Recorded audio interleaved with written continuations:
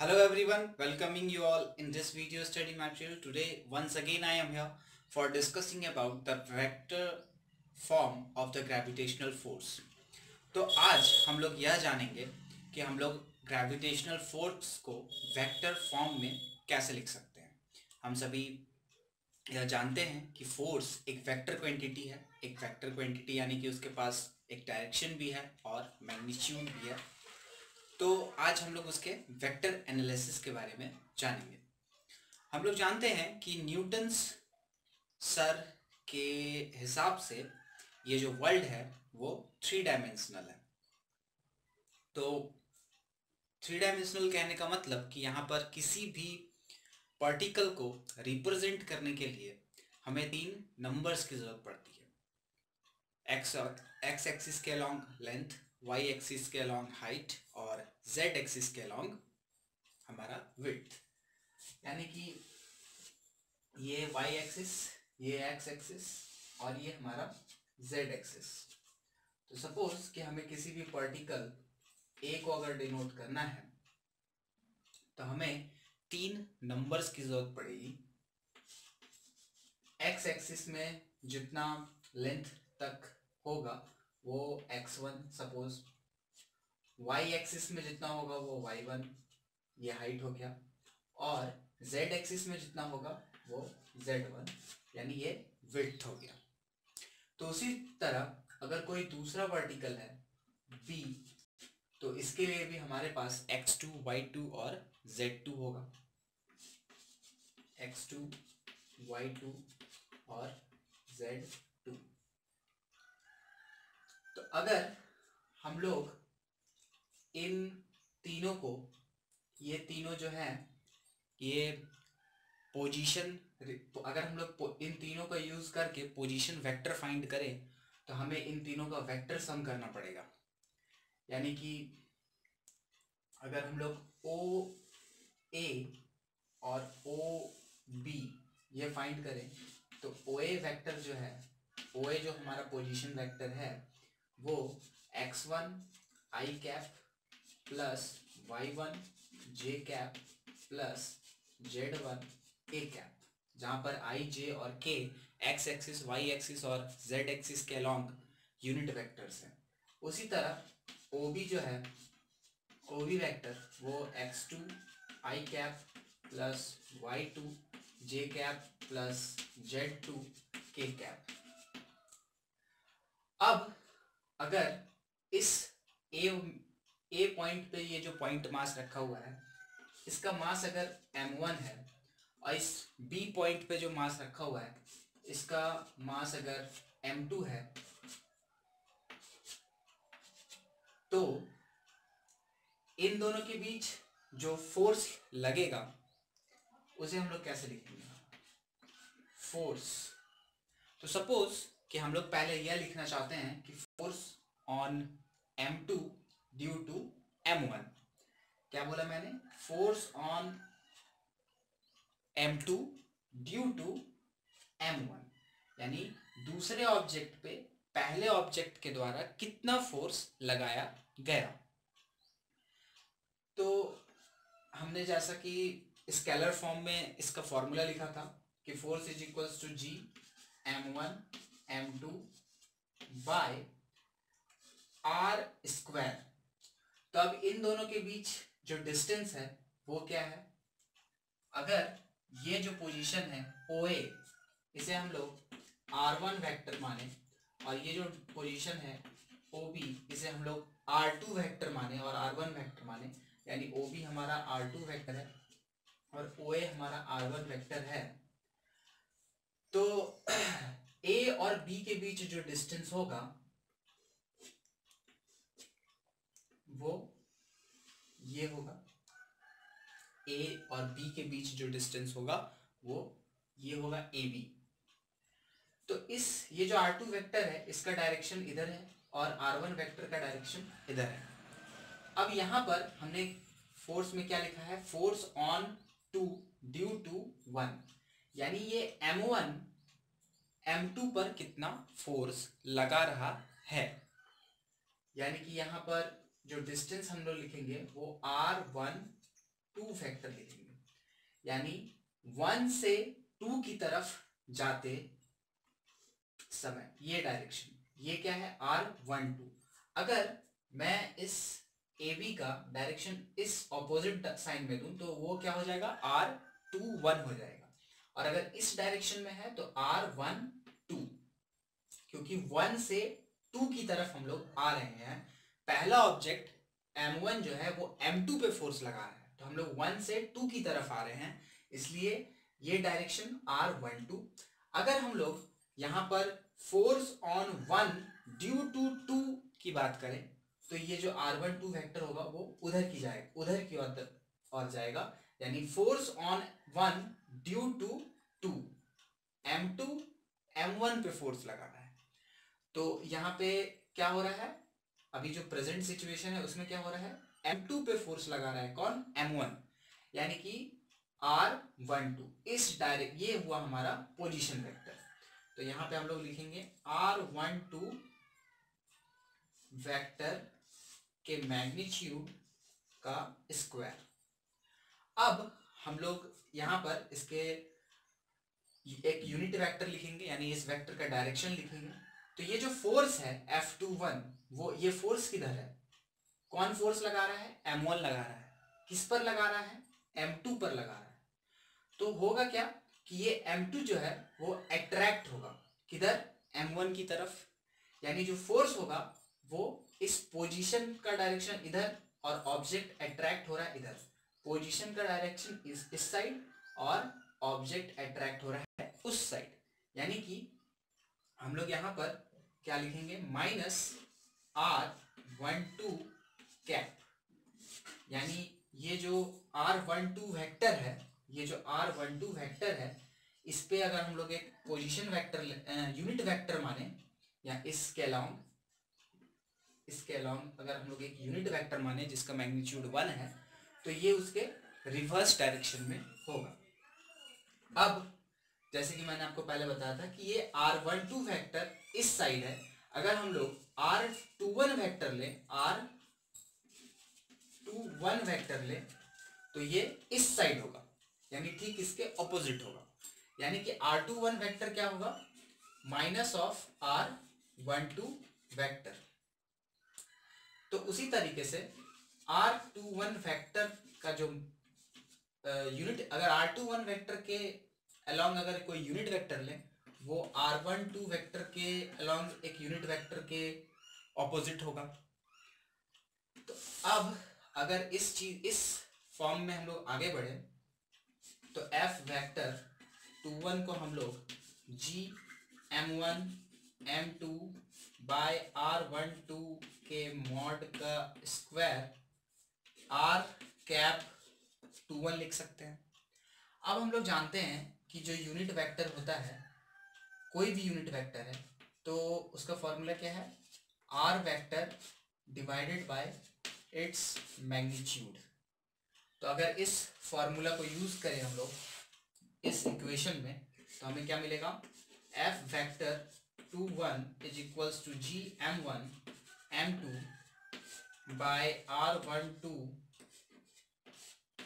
का स्क्वायर और यहाँ पर इसके पोजि इसके जगह पे अगर हम लोग ये फॉर्मूला यूज़ करें तो हमें आर टू वन अगर सपोज़ ये फॉर्मूला यूज़ करते तो यहाँ पे टू वन और यहाँ भी टू वन तो ये वाली चीज़ हम लोग यहाँ पे उतार देंगे। यानी R vector two one by R vector two one का मॉड तो ये हमें क्या मिल जाएगा? ये हमें मिल जाएगा G M one M two ये दोनों एक दूसरे से मल्टीप्लाई होगा तो आर वन टू का पावर क्यूब और ये आर वेक्टर टू वन तो ये हो गया हमारा F force on two due to one का इक्वेशन अब हम लोग फाइंड करेंगे force on one due to two अब हम लोग देखेंगे कि force on object one due to object two तो यहाँ पे G M one M two by R one two के मॉड का square minus R one two unit vector इसे हम लोग G M one M two by यहाँ पे स्क्वायर होगा। आर वन टू वेक्टर का क्यूब और यहाँ पे इसे आर टू वन वेक्टर ये हम लोग लिख सकते हैं जैसे हमने पिछले इक्वेशन को लिखा था। तो अब हम लोग यहाँ से ये कंक्लूड करेंगे, ये इक्वेशन टू और जो पहला वाला है एफ़ टू वन का जो इक्वेशन था वो इक्वेशन वन तो हम लोग यहाँ से ये कंक्लूड करेंगे कि एफ़ वन टू वैक्टर जो होगा, वो minus of F two one vector होगा। यानी कि दोनों की मैग्नीट्यूड सेम रहेगी, बस डायरेक्शन उल्टा रहेगा। तो ये तो बात हो गई कि अगर हमारे पास दो पॉइंट मासेस हैं तो अब अगर हमारे पास नंबर ऑफ़ पॉइंट मासेस हैं तो हमें फोर्स ऑफ़ ग्रेविटेशन कैसे फाइंड करना है? तो सपोज़ कि हमारे पास एक सिस्टम है, जिसमें कि चार पॉइंट मासेस हैं, और हमें क्या करना है कि एक किसी पर्टिकुलर पॉइंट मास पर बाकी के तीन पॉइंट मासेस से फोर्स उस पर कितना फोर्स एग्जर्ट कर रहे हैं ग्रेविटेशनल फोर्स ये फाइंड करना है। तो हम लोग इसे सॉल्व करने के लिए प्रिंसिपल ऑफ़ सुपरपोजिशन का फॉलो करेंगे। प्रिंसिपल ऑफ़ सुपरपोजिशन हमें यह बताता है कि पहले सपोज़ जैसे कि मैंने बताया कि चार ऑब्जेक्ट का एक सिस्टम है तो सपोज़ कि चौथे ऑब्जेक्ट पे हमें फोर्स निकालना है, पहले तीन ऑब्जेक्ट से। तो हम लोग पहले यह फाइंड करेंगे कि पहला जो ऑब्जेक्ट है, वो चौथे ऑब्जेक्ट पे कितना फोर्स लगा रहा है? यानी एफ़ वन फिर दूसरा जो ऑब्जेक्ट है, वो उस पर कितना फोर्स लगा रहा है? फिर तीसरा जो ऑब्जेक्ट है, वो उस पर कितना फोर्स लगा रहा है? इन तीनों को अलग अलग हम लोग फाइंड करेंगे। फिर तीनों के वेक्टर सम में, तीनों को तीनों को वेक्टर सम कर देंगे। यही कहता है प्रिंसिपल ऑफ़ सुपरपोजिशन तो उस तरीके से हम लोग इसे सॉल्व कर सकते हैं। तो अब हम लोग ये देखेंगे एक एग्ज़ाम्पल के द्वारा कि इसे हम लोग कैसे सॉल्व कर सकते हैं। तो ये है हमारा प्रॉब्लम ये एक सिस्टम है जिसमें फोर पॉइंट मासेस हैं ए बी सी और पी सब में इक्वल मास है मास एम हमें पॉइंट पी पर ए बी और सी से फोर्स निकालना है कि ये तीनों उन पर कितना फोर्स लगा रहे हैं। तो जैसे कि मैंने अभी अभी आपको बताया कि हमें प्रिंसिपल ऑफ़ सुपरपोजिशन यूज़ करना है। यानी पहले हमें पॉइंट पी पे पॉइंट ए के द्वारा कितना फोर्स एग्जर्ट हुआ वो निकालना है। फिर पॉइंट पी के द्वारा पॉइंट पॉइंट पी पे पॉइंट बी के द्वारा कितना फोर्स लगाया गया? पॉइंट पी पे पॉइंट सी के द्वारा कितना फोर्स लगाया गया? इन तीनों को इंडिविजुअली फाइंड करके तीनों का वेक्टर सम करना है।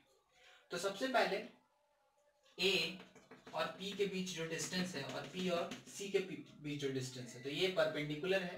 बी और पी के बीच का डिस्टेंस डी है ए और बी और बी और सी के बीच का डिस्टेंस डी है। तो ये 90 डिग्री है, ये डी ये डी तो पाइथागोरस थ्योरम से ये रूट टू डी तो हम लोग सबसे पहले फाइंड करेंगे कि force on point P due to B तो अगर इस पॉइंट को हम लोग अपना ओरिजिन मान लें। और ये हमारा एक्स एक्सिस और ये हमारा वाई एक्सिस क्योंकि हमें कोई भी कैलकुलेशंस कोई भी मेज़रमेंट करने के लिए एक फ्रेम ऑफ़ रेफरेंस की ज़रूरत पड़ेगी। तो ये हमारा फ्रेम ऑफ़ रेफरेंस ये एक्स एक्सिस ये वाई एक्सिस अब हमें निकालना है कि पॉइंट पी पे पॉइंट बी के द्वारा कितना फोर्स लगाया गया। तो जी मास सारे पॉइंट्स पे सेम है मास एम है। तो एम स्क्वायर बी और पी के बीच जो डिस्टेंस है वो डी है तो डी स्क्वायर और ये वाई एक्सिस के अलॉन्ग है यानी वाई एक्सिस के अलॉन्ग जो यूनिट वेक्टर होता है वो जे कैप, कैप होता है तो ये जे कैप ये इक्वेशन वन अब पी पे ए के द्वारा कितना फोर्स लगाया गया? तो ये G M square by two D square root under two D का अगर होल स्क्वायर करें तो रूट अंडर टू का स्क्वायर टू और डी का स्क्वायर तो डी स्क्वायर अब यहाँ पर जो हमारा फोर्स है, वो इस डायरेक्शन में है। ये इसकी तरफ़ अट्रैक्ट हो रहा है। तो यहाँ पे अगर अगर हम लोग अपना प्रोजेक्शन तोड़ें तो प्रोजेक्शन जो टूटेगा, वो I cap sine forty five I cap sine forty five X axis के अलॉन्ग और वाई एक्सिस के अलॉन्ग ये एक्स एक्सिस के अलॉन्ग साइन फोर्टी फाइव और वाई एक्सिस के अलॉन्ग कॉस फोर्टी फाइव। तो plus J cap cos forty five. अब F vector on P due to C तो M square by two D square तो ये वाला है, ये वाली लाइन फोर्स का डायरेक्शन इधर. ये इस ऑब्जेक्ट को अपनी तरफ़ अट्रैक्ट करेगा.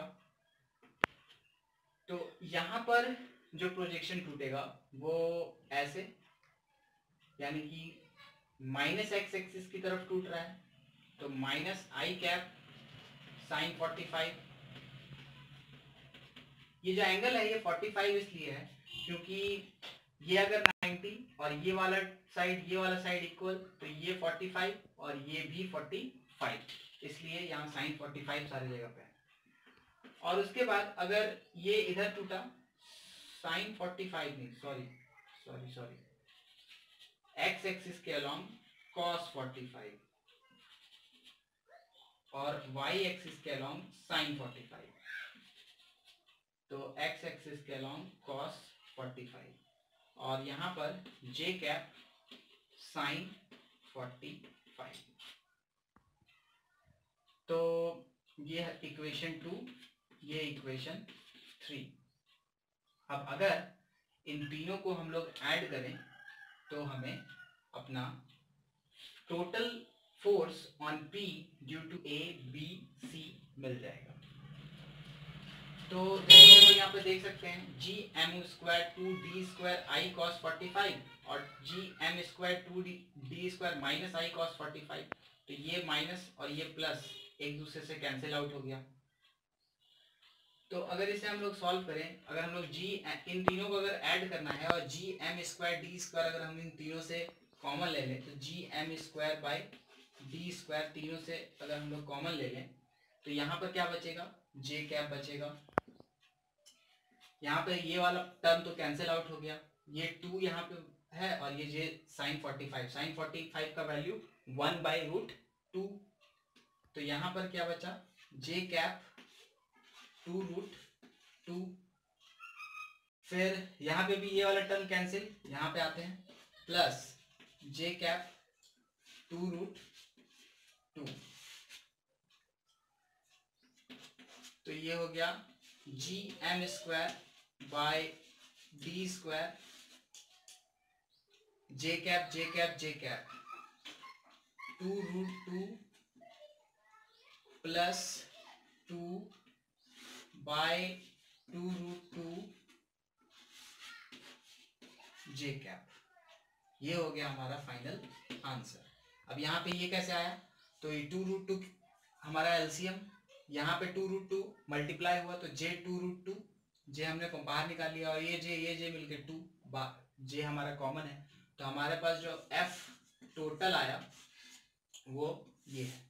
G M square by D square two root two plus two by two root two J cap तो उम्मीद है कि आपको यह वीडियो जो कि gravitational force in vector form के ऊपर था, समझ आया होगा। अगर आपको कोई भी प्रॉब्लम है न्यूमेरिकल्स को सॉल्व करने में तो आप उन न्यूमेरिकल्स को कमेंट कर सकते हैं या फिर मुझे मेल कर सकते हैं। मेरी ईमेल आईडी डिस्क्रिप्शन पे है। At last with the end of this video thanks for watching this video with the message of universal brotherhood love and peace